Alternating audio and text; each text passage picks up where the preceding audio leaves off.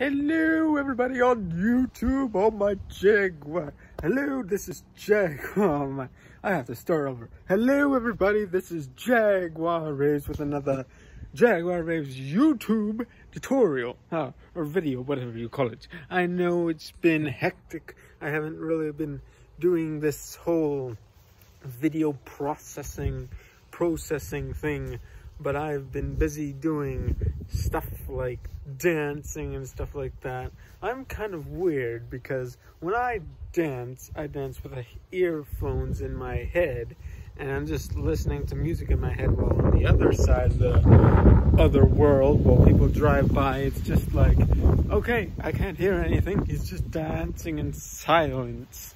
And it's just like weird, but people seem to enjoy it. I don't know why it is, but it is what it is. And anyways, tomorrow I'm going to be going on a little bit of a journey and I'm going to be going heading to Trail BC. Yes, uh, because we're dropping off a dresser.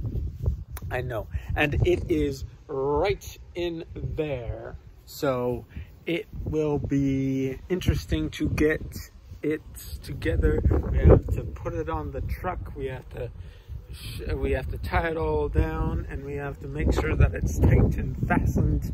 And then at six o'clock in the morning, we're gonna be going to our way down to trail and uh, going through Kelowna or maybe Penticton, but I think it's going through Kelowna we're going through, and uh, it'll be a crazy ride. I'll make sure that I'll capture every moment of it and uh, what have you. It's gonna be a great ride, and you're gonna see it as I will see it. So, yeah every stop that we go through it's gonna be a great time and i'm gonna try to get back on this whole youtube thing because really i think i've been taking too long of a break and uh, it's just about time that i get back on the uh, horse again if you know what i mean.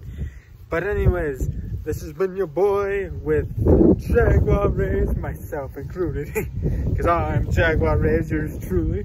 And uh, yeah I'll see you in the next one. And make sure to hit that like button if you like this video. Subscribe and punch it right in the face, right in the kisser, so that you can get all the updates you can possibly imagine. Plus, hitting that notification because that will clarify that you get all the video updates you possibly can want.